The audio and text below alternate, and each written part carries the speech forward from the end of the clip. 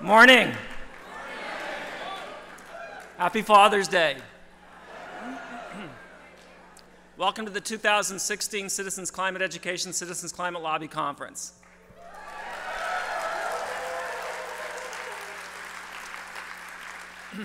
if you're returning to this conference today, welcome home. If this is your first time attending, could you stand up so we could specially welcome you? Great.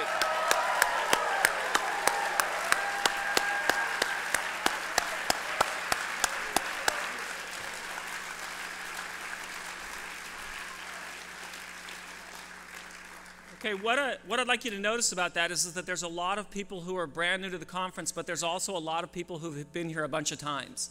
So if you're here for the first time, and I know for a lot of us, the first time we're going on Capitol Hill, there's a certain amount of nervousness or anxiety about that. Uh, there's a lot of experienced people here who will make it uh, as comfortable and easy for you to, to go to Capitol Hill and be successful there. But if you do have a certain level of nervousness, I think that's appropriate. Uh, I think that given the opportunity in front of us, given what we're able to do with Congress, we should have a certain level of anxiety, so I think that's a healthy thing. You know, it's kind of like, you know, sometimes people tell you they're not nervous speaking in front of people. I never understand that. I, re I really don't. You know, I think that if you have the privilege of standing in front of people and that maybe there's some chance something you say might contribute, that should give you some pause. So if you have some anxiety for being in Capitol Hill, I think that's a really good thing, and I'm glad that's the case. Um, I do want to give everybody a chance just to say thank you. There's an enormous amount of work that goes into this conference. So, you know, if you were happy seeing your schedule arrive in your inbox along with previous meeting notes, meeting plans, bios, all that kind of stuff, all, all that kind of work's done. So, if we could just take a moment and give a, a hand to the staff and the interns who did all that work.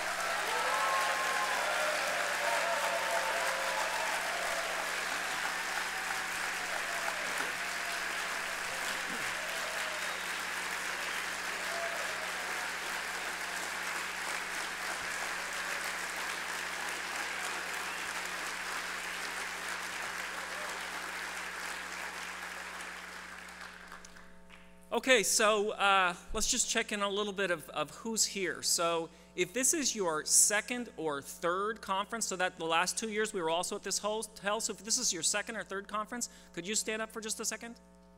Great, welcome back.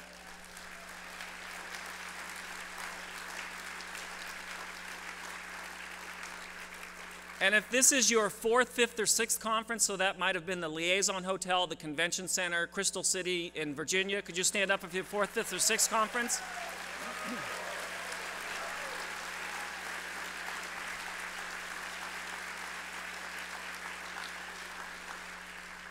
And if this is your seventh conference, the 24 of us that were at the Marriott seven years ago, could you stand up if you're one of those people? Wow.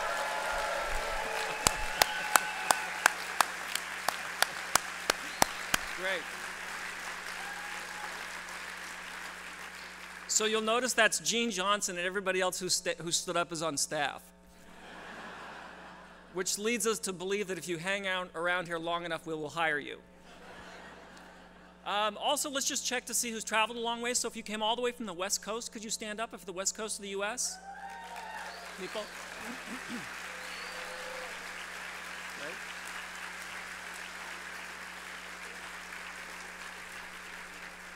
And if uh, US and you came even further from that, if you're from Alaska, could you stand up?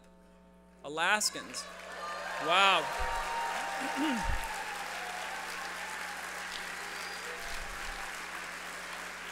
George, George, could you stay standing for just a second? George is a fisherman. This is the time of year he's supposed to make all of his money. Every year he's here. It's remarkable.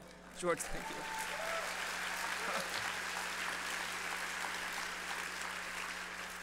If you were on last month's call, you know we had a big lobby event in Canada, but nevertheless we have Canadians here this year. Remarkable. Even they were on uh, Capitol, I mean Parliament Hill in Ottawa two weeks ago. So if you're Canadian, could you stand up? If you're from Canada.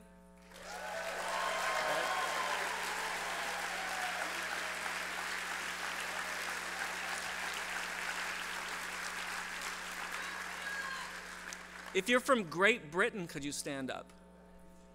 Wow.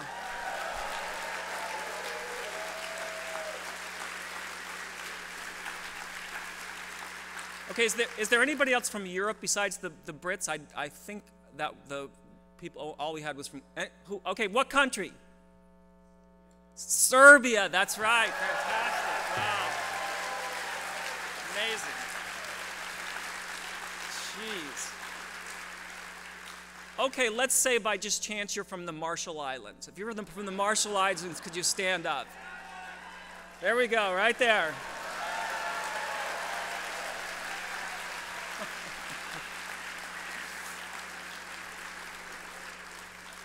Did I miss any other countries? Yeah. Panama? Wow. Incredible. So, Panama, if you didn't hear, fantastic. Any other countries I miss? China? Seriously? Wow.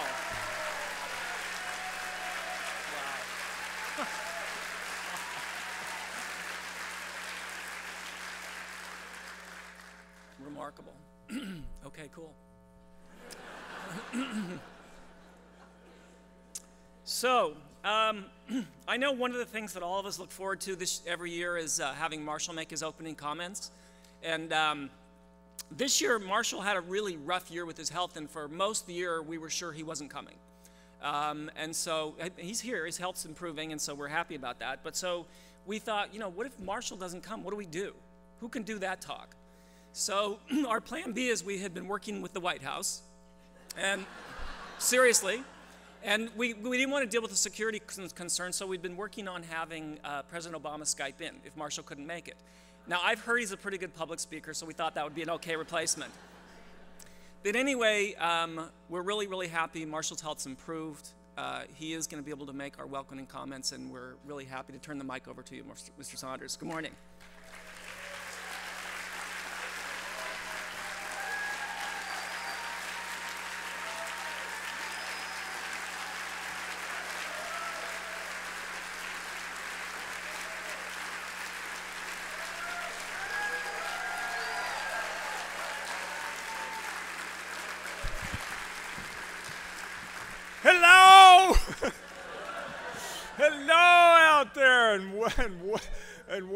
And uh, I am delighted, delighted to see you.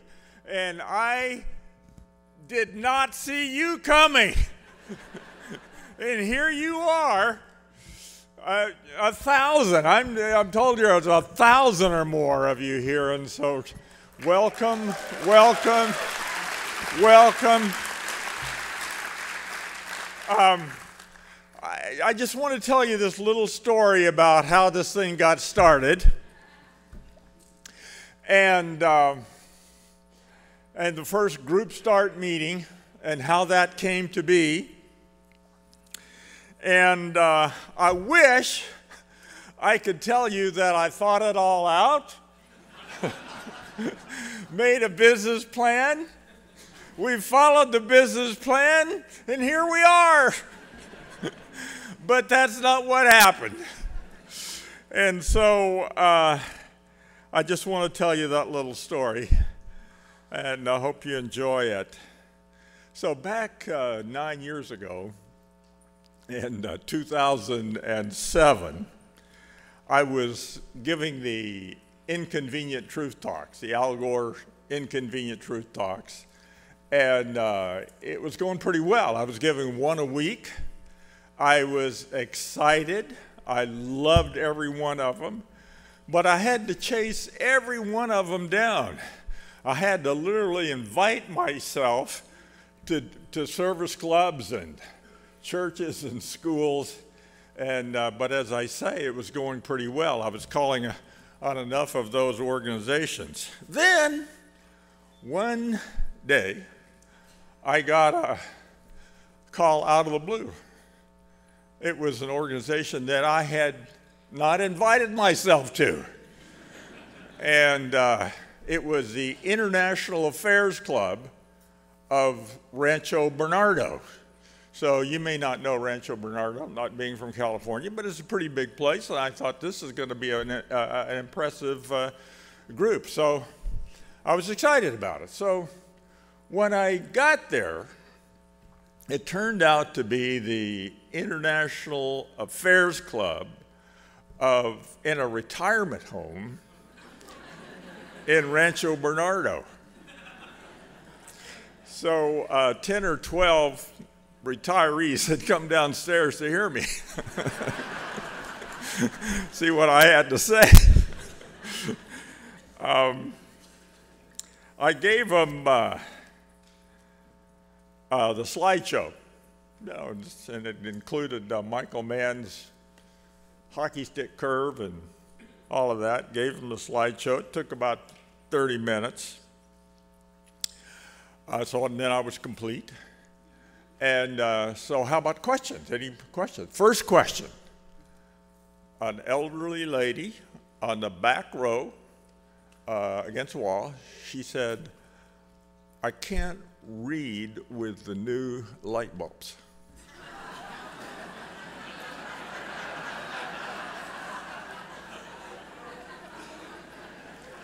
what should I do?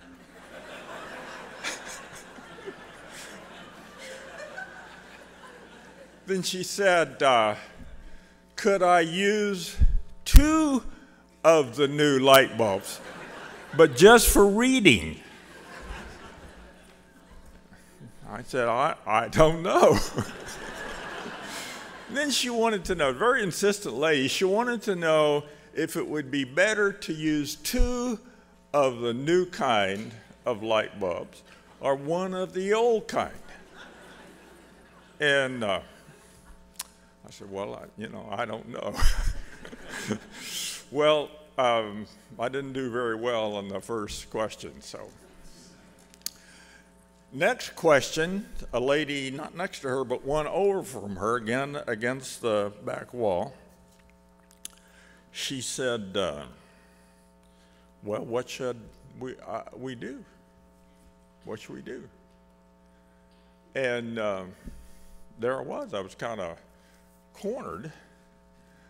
And I finally, I finally said, Well, what's needed is the methodology of results where hundreds, I didn't see a thousand, hundreds of people organize themselves, um, get educated, lobby their members of Congress and the media in a relentless, unstoppable way, and yet friendly. Why don't you do that? She said.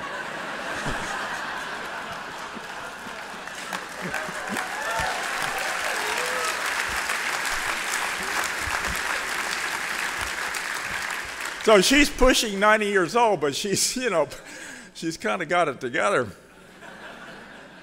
Why don't you do that? She said. And uh, again, I was kind of trapped. Um, I said, Well, I, I haven't done that because nobody would come to a meeting like that. And I look out at you and I said, and at that time I said, nobody would show up. and uh, she said, Well, I'll help you.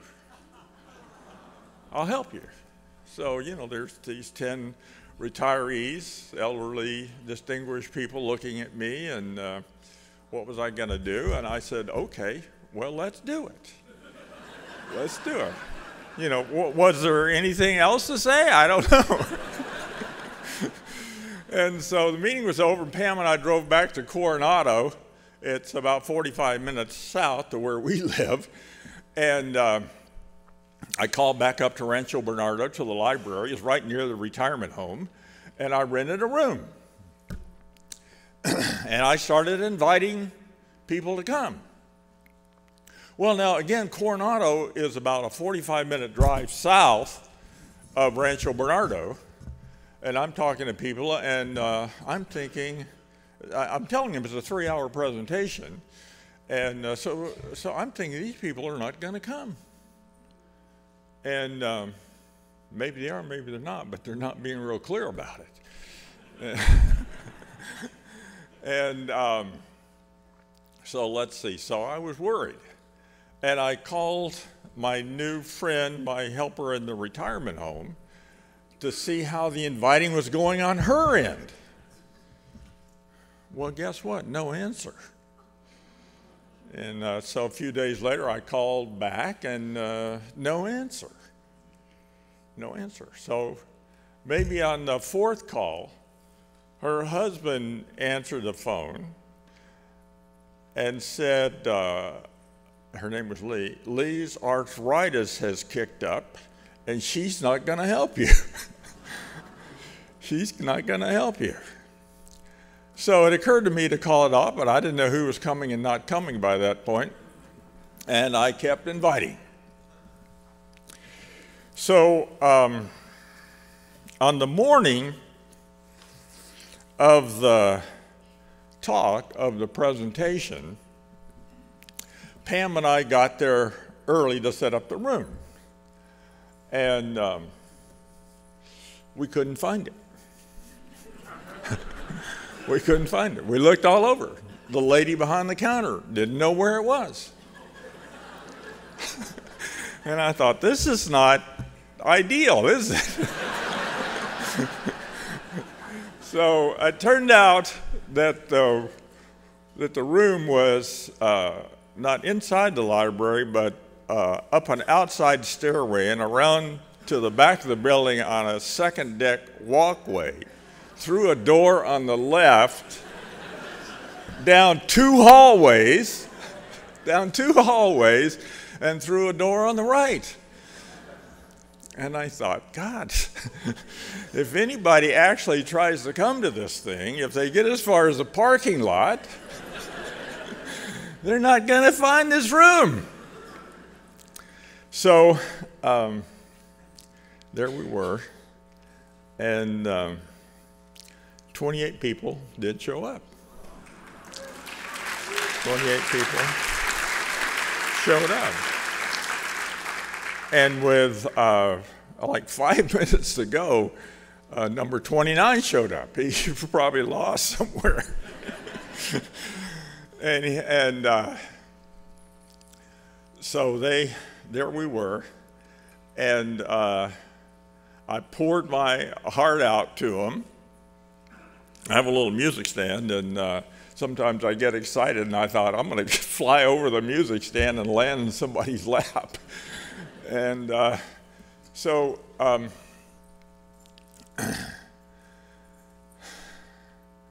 I, as I say, I knew about half of them. The other half, I don't know how they found out about it and who invited them. You know, I, I just didn't know. So um, let me just see where we are here.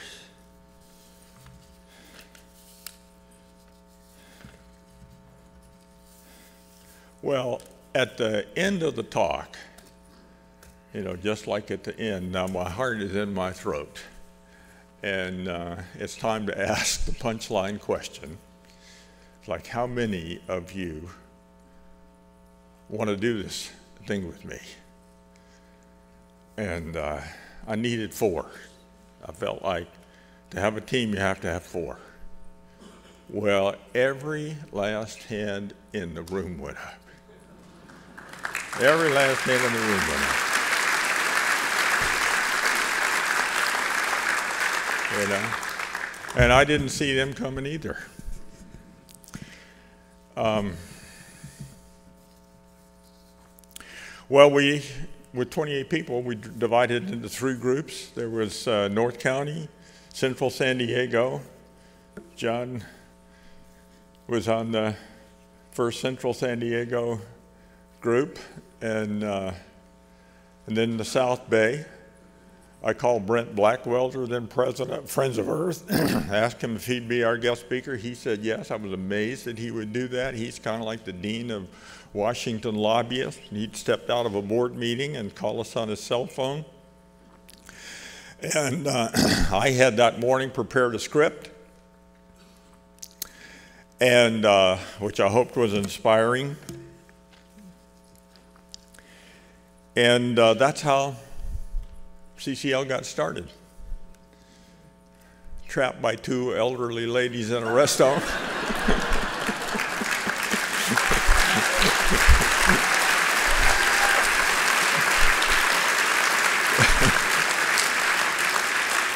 uh, 28 and then 29 volunteers who showed up on a Saturday morning not knowing what to expect or what they might be getting into.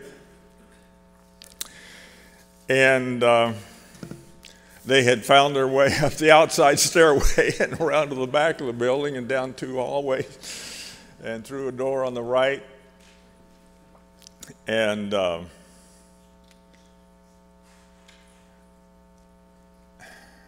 and you, you keep showing up.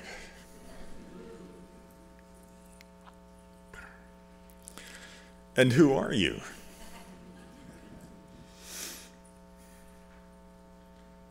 I see you as the world's best hope. Like, no kidding. You're the world's best hope. You're citizens in a democracy. You have access to your government. That's not true everywhere. You have done the work to organize yourselves and educate yourselves.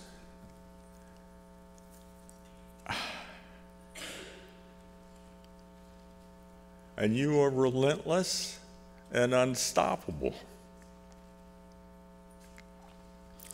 And so that's who you are for me, the world's best hope. Thank you, and I love you.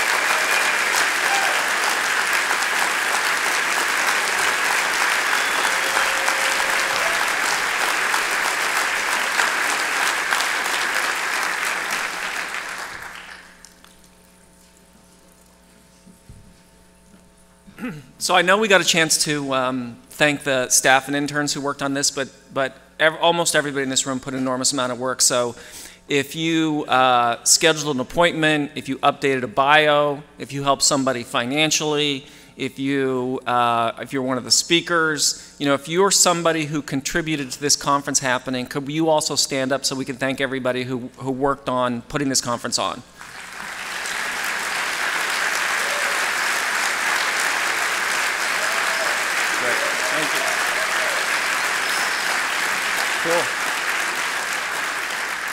Okay, so it's a it's a huge it's a huge endeavor, and we're already at work on next year's conference. So it's a it's a year long effort. It's a big push.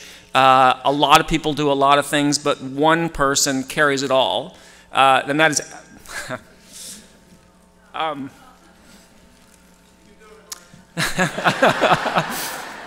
you know, when you do something like this, one person has to organize all of it. 84 speakers, all the meeting rooms, all the sleeping rooms, all the materials, everything you get, making sure the drummers are hidden away, you know, all those kinds of things. And um, it's, it's, it's really hard to describe the job that Ashley does every year, but she's going to come up and go over some of the conference details, and I would be extremely grateful if you would show some appreciation for what she does every year. Yeah.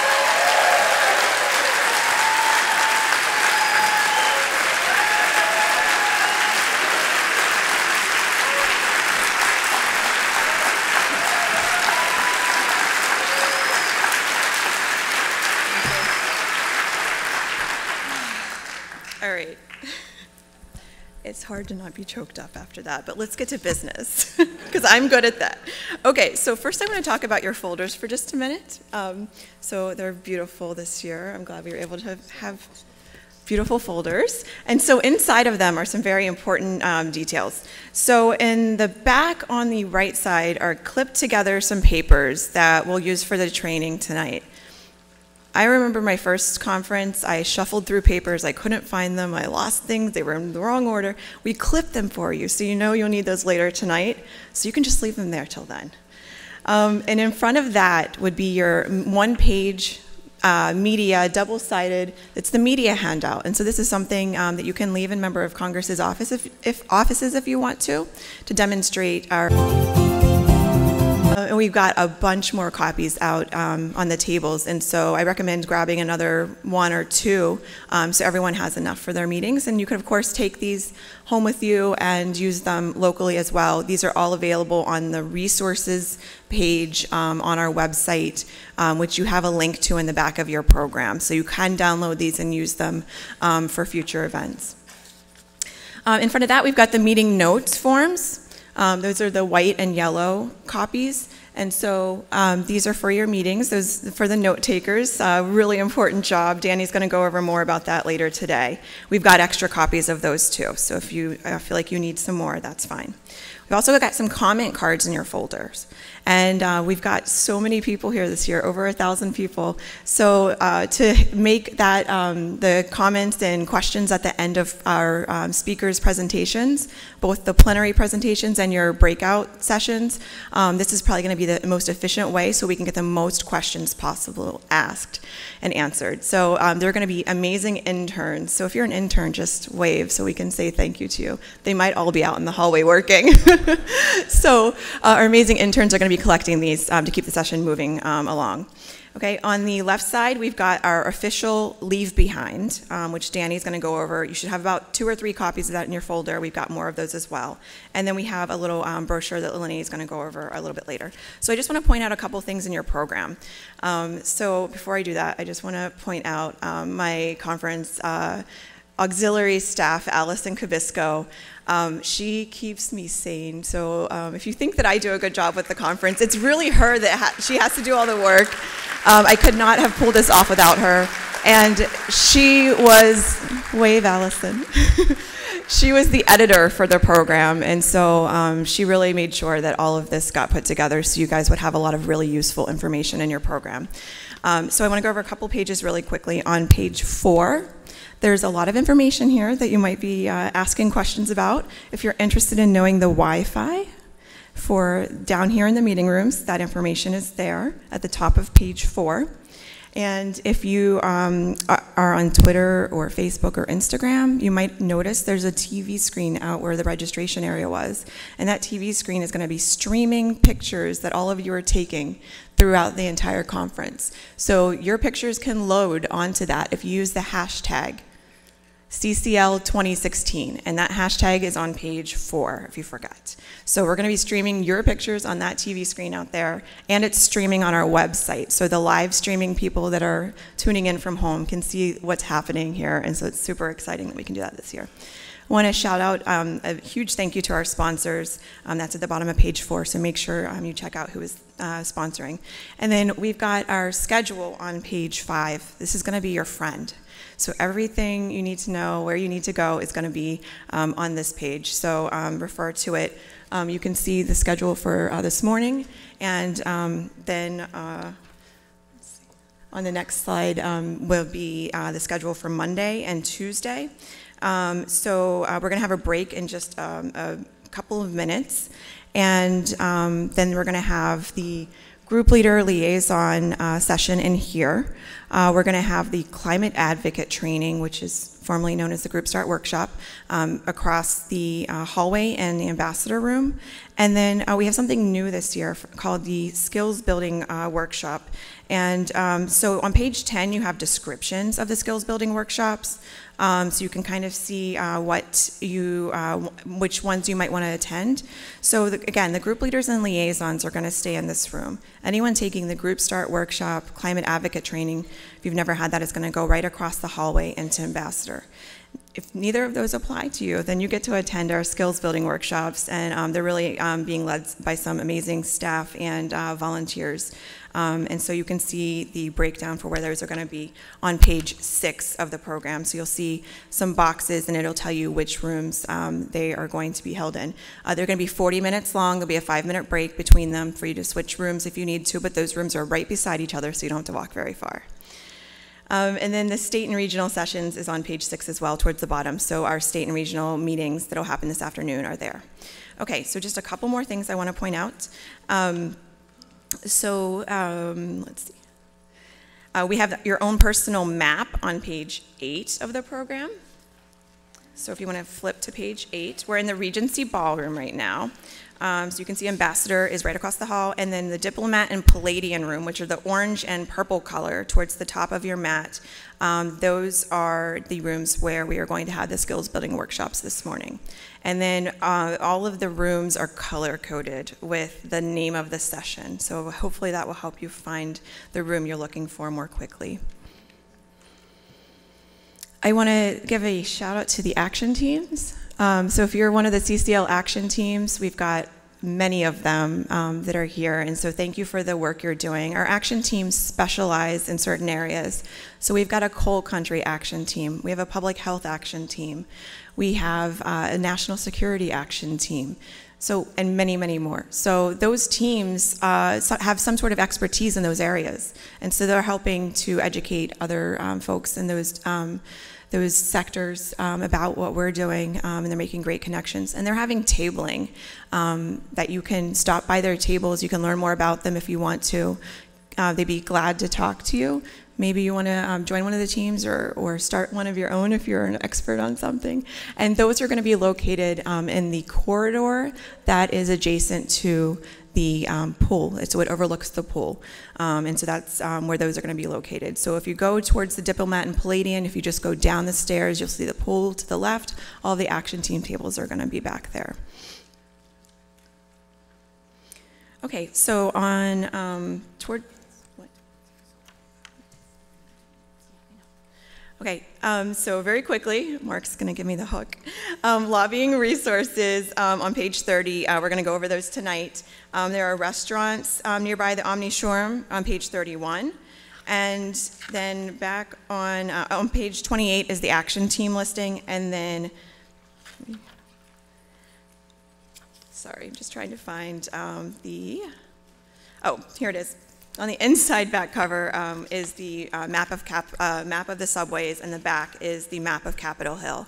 So we'll talk more about this um, later tonight, um, so that you're able to find your way there tomorrow. Um, and uh, the app there's information in the program uh, and towards the front uh, about our app, and that app is being updated as things change. So if a room location does need to be changed, um, that will be updated live on the app. So if you have a smartphone and you want to download that, instructions are in your program how to do that. So the program is your friend. That's the uh, main point. And um, if you have any questions, the interns have a little ribbon on their name tag. So look for one of our interns, and they're happy to help you.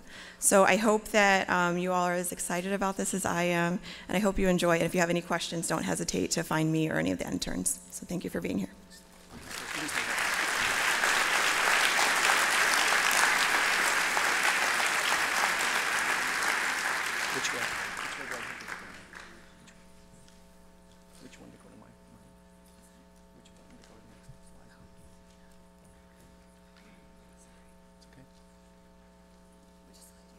Would you, can, would you put my slides up? Okay, good. So the question that we want to just uh, lay out is, um, are we making progress? So um, we know we have the Gibson resolution. Uh, we suspect now people are past their primaries. We'll get more people to that one. Next one, Ash. We got the Bipartisan Climate Solutions Caucus. Danny's going to have some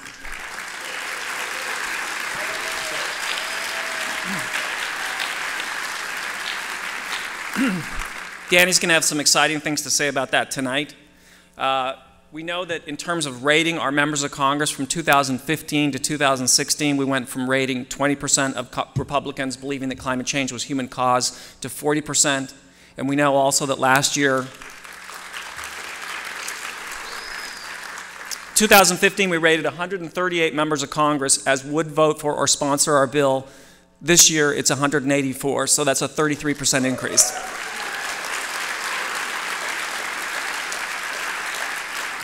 Okay, and then here's the last thing I want to leave you with. First of all, this is CCL, so that means the next sessions will start at precisely 10:15. But the last thing I want to leave you with is what we don't have this year. I mean, what we do have this year is something we've never had going into any other year, and that is three Republican offices who've told us they intend to introduce pricing legislation next year.